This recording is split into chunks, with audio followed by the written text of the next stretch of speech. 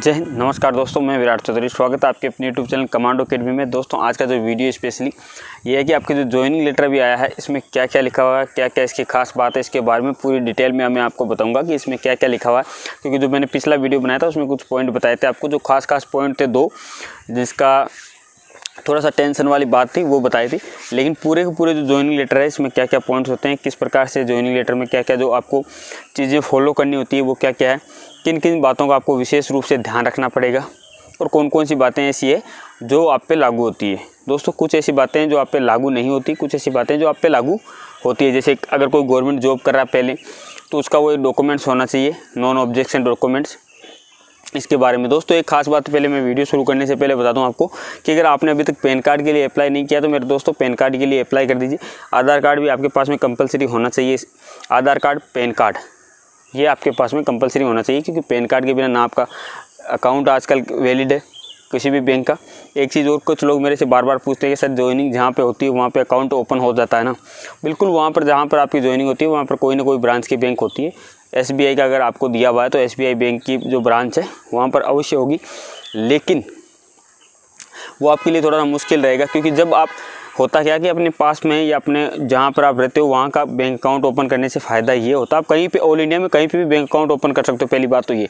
ऐसा कोई रूल नहीं है कि आप राजस्थान के हो, राजस्थान में बैंक अकाउंट ओपन करो, नहीं, आप कहीं पर भी कर सकते हो।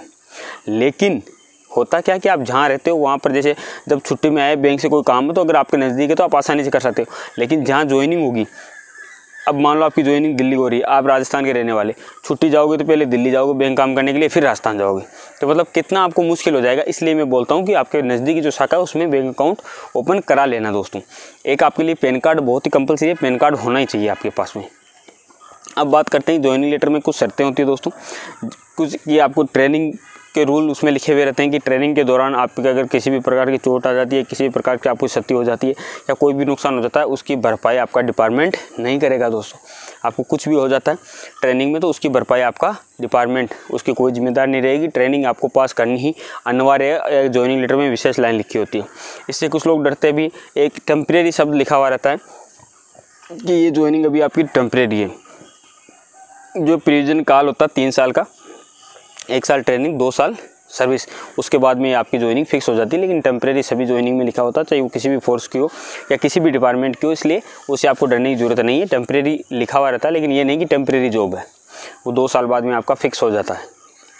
इसके अलावा कुछ इसमें बातें लिखी हुई कि ट्रेनिंग आपको कंपलसरी करनी है। बारह महीने के विशेष प्रशिक्षण आपको दिया जाएगा। वो आपको कंपलसरी फाइट करना है। उसमें अगर आप किसी भी कारणवश फेल होते हो तो आपको निष्कासित कर दिया जाता है। तो अब ये क्वेश्चन आता है कि सर रनिंग में अगर हम पास नहीं हुए, तीन बार अगर किसी टेस्ट में पास नहीं हुए तो क्या हमको घर भेज देते हैं? ऐसा कुछ नहीं है। किसी को ट्रेनिंग के दौरान घर नहीं भेजते। अगर आप, मान लो पहली बात तो पास हो ही जाते हो। अगर किसी कारणवश ऐसा होता है कि हज़ार आठ सौ बच्चों में से आठ दस बच्चे हैं जो पास नहीं हो पाते तो उनको क्या होता है कि फिर उनको ट्रेनिंग दूसरे ट्रेनिंग सेंटर भेजा जाता है और फिर उनकी शुरुआत से वापस ट्रेनिंग की जाती है। जैसे अगर छः वीक से ट्रेनिंग करवाई जाती है उनको, फिर उनको टाइम दिया जाता है, फिर वापस ट्रेनिंग कराई जाती है और लास्ट में वो पास हो जाते हैं। क्योंकि कोई भी चीज़ है, निरंतर आप प्रयास करोगे तो आपको आ ही जाएगी। अगर आप रनिंग की प्रैक्टिस करोगे तो रनिंग बढ़ी जाएगी ना उसमें, कोई ये तो ओबियसली बात है। तो ऐसी कोई टेंशन है नहीं कि घर भेज दिया जाता, घर नहीं भेज दिया जाता। उसके अलावा इस बार जो खास खास बातें और क्या क्या लिखी हुई है, उसमें कि आपके जो डॉक्यूमेंट्स मैंने बताए दिए, उसमें कि जो जो डॉक्यूमेंट्स होने चाहिए, उसके अलावा आपके पास में पाँच हज़ार रुपये लेके जाने वो कंपलसरी है। मेरी तरफ़ से मैं आपको बोल रहा हूँ, आठ से दस हज़ार रुपये आप लेके जाना, क्योंकि खर्चे के लिए और भी आपको चाहिए। लाइट बेडिंग आपके पास में होनी चाहिए मैं शुरू से बता रहा हूँ, आपके पास में लाइट बेडिंग होगी, उसमें भी लिखा हुआ कि एक दरी कंबल को छोड़ने का होना चाहिए। जिस इलाका में आपकी ज्वाइनिंग आती है, उस इलाके के हिसाब से आपके पास में कुछ ना कुछ कंबल दरी होना चाहिए। एक हल्का टिफ़िन बॉक्स होना चाहिए और कोई गिलास विलास छोटा सा, वो ले लीजिए। क्योंकि प्लेट व्लेट और सामान मिलने में आपको एक से दो दिन का टाइम लग जाएगा दोस्तों। और आपकी जो सिविल ड्रेस है लोवर टी शर्ट ले लीजिए एक अच्छा सा, और शूज़ ले लीजिए स्पोर्ट्स के अच्छे से, जो आपको रनिंग में भी काम में आएँगे ट्रेनिंग सेंटर में भी काम में आएँगे ग्रुप सेंटर में भी काम में आएँगे स्लीपर ले लीजिए।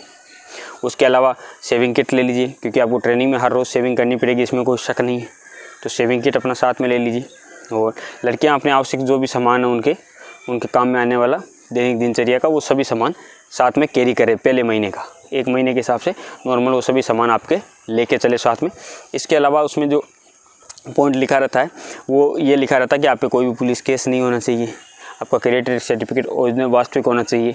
वो अब कुछ लोग बोलते हैं कि सर वो ऑफलाइन वाला चल जाएगा ऑनलाइन वाला। तो ज्वाइनिंग लेटर आपके पास में आ जाने दो, अगर उसके साथ में अटैच नहीं होगा तो ऑनलाइन वाला चल जाएगा आपका क्रेडिट सर्टिफिकेट जो साइबर कैफ़े से आपको बनाना है। अगर अटैच आता तो वो बनवाना है। अगर नहीं आता अटैच तो उसमें लिखा हुआ रहेगा तो आप ऑनलाइन जाके करेक्टर सर्टिफिकेट मैंने एक बार पहले फ़ोटो डाली थी। नहीं जुड़े हो तो टेलीग्राम ग्रुप में आ जाइए, वहाँ पे मैं बता दूँगा उसका पूरा का पूरा, डाल दूँगा ग्रुप में। वो निकला के आप भर सकते हो फॉर्म वो भी चल जाएगा। वो कोई ज़रूरी नहीं है। एस डी एम का उनके साइन होने चाहिए, उसमें साफ़ साफ़ लिखा हुआ कि आपके मतलब एस डी एम से गजिस्टर्ड ऑफिसर से साइन होनी चाहिए। इसके साथ में आपकी मार्कशीटों पे भी साइन उसमें गजिस्टर्ड ऑफिसर से साइन मांगेंगे। उसमें भी जो आपकी टू कॉपी होती है, उसमें भी आपको वो साइन कराने दोस्तों। गजेटेड ऑफिसर से कोई भी फ़र्स्ट ग्रेड का जो आपका टीचर है, उससे आपको साइन कराने ताकि वेरीफाई के लिए सेल्फ अटेस्टेड भी हो सकता है और वो अटेस्टेड के लिए भी बोल सकते हैं। इस बार अटेस्टेड के लिए शायद बोला तो एक एक कॉपी पे आप गजेटेड ऑफिसर के साइन भी करा लीजिए। तो ये चीज़ें उसमें कुछ खास बात है। ट्रेनिंग की जो बात मैं बताया कि फेल वेल नहीं होते हैं। अगर फेल होते हैं, तीन बार, चार बार, पाँच बार भी अगर फेल हो जाते हैं, घर नहीं भेजते ऐसा कुछ नहीं है कि घर भेज दिया जाएगा, घर कभी नहीं भेजा जाएगा। ट्रेनिंग में ट्रेनिंग का मतलब ये है कि आपको निरंतर किसी चीज़ को प्रयास कर करके बार बार करवा के सिखाना, ठीक है? तो उसमें एक पॉइंट लिखा रहता है, इससे काफ़ी डर लगता है लड़कों की ट्रेनिंग में बारह महीने का प्रशिक्षण आपको अवश्य अगर नहीं करने पर आपको निष्कासित कर दिया जाता है तो ऐसी कोई बात नहीं है। आपको ऐसे निष्कासित नहीं करते हैं दोस्तों। इसके अलावा जो कोई दूसरा जॉब कर रहा है, फिर वही जॉब में आ रहा है तो उसको वहाँ का वो सर्टिफिकेट होना चाहिए नॉन ऑब्जेक्शन सर्टिफिकेट माता पिता की कोई आईडी नहीं लगेगी, सिर्फ़ आपकी आईडी कंप्लीट होनी चाहिए, आपके जितने भी डॉक्यूमेंट्स हैं वो वेरीफाइड होनी चाहिए। हाँ आपका जो बर्थ सर्टिफिकेट है या मूल निवास है, उनमें कोई मिस्टेक नहीं होनी चाहिए, वो टेंथ क्लास की मार्कशीट के अकॉर्डिंग सही होनी चाहिए, ताकि आपको आगे जाके कोई प्रॉब्लम ना हो दोस्तों। अगर किसी के फॉर्म में मिस्टेक हो रखी है तो वहाँ पर जब फॉर्म भरे जाएँगे तो उसको सुधार सकता है, उसमें कोई प्रॉब्लम वाली बात नहीं होती है। इसके अलावा अगर हम बात करें ट्रेनिंग का हो गया। उसके बाद में जो ज्वाइनिंग के समय आपके जो डॉक्यूमेंट्स लगेंगे, उसमें कुछ नियम और शर्तें लिखी जाती है कि भाई इस इस प्रकार की आपको फॉलो करनी है। तो वो नियम और फॉलो तो आप करते हैं, जैसे आपके कोई पुलिस केस नहीं होगा आपको किसी भी अदालत द्वारा पनिशमेंट नहीं दिया होना चाहिए, किसी प्रकार का आपको झगड़े का, वो चरित्र प्रमाण पत्र आप बनाओगे तो वो सब चीज़ें उसमें कवर हो जाती है। उसमें कोई अलग से वो बात नहीं है, आपका मूल निवास का जो सर्टिफिकेट है वो वास्तविक होना चाहिए, या आपकी जो आयु का सर्टिफिकेट है वो वास्तविक होना चाहिए, वो मतलब किसी प्रकार का फर्जी नहीं होना चाहिए। ये चीज़ें उसमें ज्वाइनिंग लेटर में विशेष रूप से ये पॉइंट लिखे हुए रहते हैं। तो इनको आपको ज़्यादा टेंशन लेने की ज़रूरत नहीं है। ये नॉर्मल सी बातें और जो निष्कासित वाला वो टेम्प्रेरी शब्द है, उसको आपको दिमाग में नहीं लेना है कि वो टेम्प्रेरी जॉब उसमें लिखा हुआ था, वेतन भी लिखा हुआ था, इतने वेतन पर आपको ये ज्वाइन कराया जाता है। और ये काफ़ी सारे मतलब इस प्रकार के क्वेश्चन होते हैं मेरे से कि, सर ज्वाइनिंग के समय कोई प्रॉब्लम अगर मेडिकल जो मेडिकल वाला पॉइंट है, वो बार बार आता है इसके लिए मैं पहले बोला, वो पॉइंट ज़रूर आया मेडिकल वाला, लेकिन उसके लिए आपको घबराना नहीं बिल्कुल ही चिंतित नहीं होना उसके लिए, जो मेडिकल फिट है, वो फिट है, उनको अनफिट नहीं किया जाएगा। अगर किसी कारणवश इसके चोट लग गई या कुछ हो गया है तो उसको समय दिया जाएगा, ऐसे निष्कासित नहीं करेंगे मेरे यारों। ठीक है? तो सभी जितने मेरे दोस्त लाडले भाई बहनों को, आपको बहुत बहुत शुभकामनाएँ कि अब आपके ज्वाइनिंग लेटर आ रहे हैं, बहुत जल्दी आप ज्वाइन करके हमारे साथ में फोर्स के मेंबर होने वाले हो आप भी, और हमसे थोड़े से जूनियर रहोगे, लेकिन कोई बात नहीं, एक बेच ही जूनियर रहोगे, ज़्यादा जूनियर नहीं रहोगे, क्योंकि हम भी ज़्यादा सीनियर नहीं है तो ऐसी कोई चिंता करने वाली बात नहीं है। चाहे वो किसी भी फोर्स में जाए, सभी फोर्स अच्छी है, सभी में अच्छे से काम करे, और माता पिता का आशीर्वाद लेके जाए तो सब काम उनका नाम से सब कुछ ठीक हो जाता है, कोई टेंशन नहीं है दोस्तों। ट्रेनिंग भी अच्छे से हो जाएगी, किसी को डरने की बिल्कुल ज़रूरत नहीं है ज्वाइनिंग सेंटर में जाने से कोई डर नहीं है, ना ट्रेनिंग का किसी को डर होना चाहिए। मैं बार बार बोलता हूँ ट्रेनिंग ऐसी चीज़ है, वो आपकी लाइफ को पाँच साल प्लस कर देती है बीस बीस साल भी प्लस कर देगी। ट्रेनिंग के बाद में आपका शरीर ऐसा हो जाएगा कि पाँच साल तक तो आपका शरीर बिल्कुल फिट रहेगा। कोई टेंशन लेने की ज़रूरत नहीं तो तो बहुत ही अच्छी चीज़ है, उसमें कोई शक वाली बात नहीं है आपको, और बहुत ही अच्छा समय निकलता है ट्रेनिंग सेंटर में।